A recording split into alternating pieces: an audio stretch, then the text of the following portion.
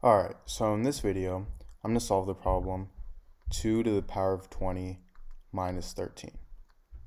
So I want to find the value of this. So to solve this, I'm going to start by rewriting 2 to the power of 20 as 2 to the power of 10 plus 10. And if I have something in the form a to the power of m plus n, this is equal to a to the power of m times a to the power of n. This is equal to 2 to the power of 10 times 2 to the power of 10. And 2 to the power of 10 is equal to 1024. So this is equal to 1024 times 1024 minus 13. Now,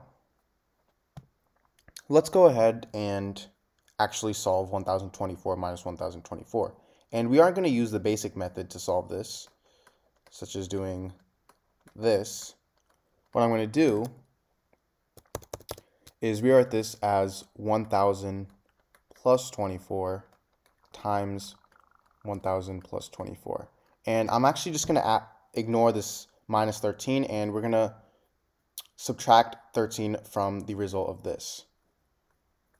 So now I can distribute the 1,000. So I get 1,000 times 1,000, which is 1 million, plus 1,000 times 24, which is 24,000,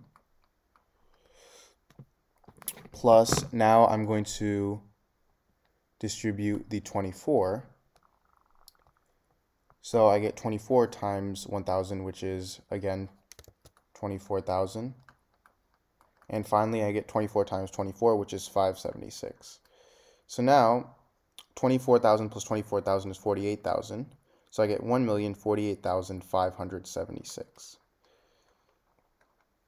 And now all I have to do is subtract 13 from this.